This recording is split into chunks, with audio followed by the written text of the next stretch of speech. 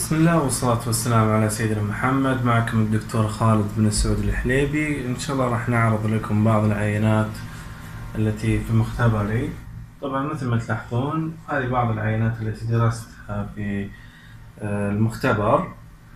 طبعا هذه عينة آه، في غاية الجمال عبارة عن بكتيريا أخذتها آه، في أحد البرك المائية وكانت يعني موضوع البحث شيق جدا. مثل ما تلاحظون. واللي يحب يعني يستفيد من هذا البحث يعني راح يستفيد بنسبة كبيرة جدا.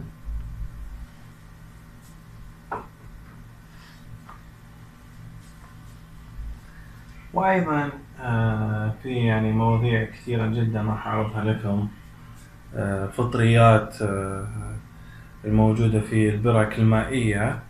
والموجودة في آه، الأنسجة والنباتات آه، المتعفنة مثل ما تلاحظون.